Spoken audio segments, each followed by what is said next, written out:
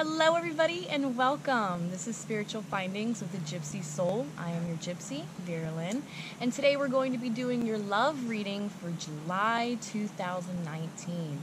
Now, this is going to be a quick cards. I'm going to pull one card from the original tarot here. I usually do more in-depth readings every month. I do for each zodiac sign. I do usually a general reading, and I have a lot of live streams. So if you find yourself interested, go ahead and subscribe and ring that notification bell. It is first come, first serve for free readings on live stream, guys, so it's really important to get over there and get your name on the list. So let's see here for Aries for July 2019. Let's see what we got going on, if it's going to get hot and heavy, or if we're still kind of holding on to some past regret. Let's see what we got for you guys. All right. This card speaks out. For my Aries for July 2019, we have the Fool. Okay, so there's going to be an opportunity for you to have a new beginning.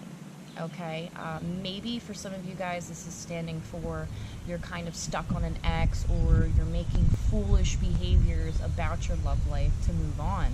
Um, maybe looking in the wrong places to date people could also be one of your problems.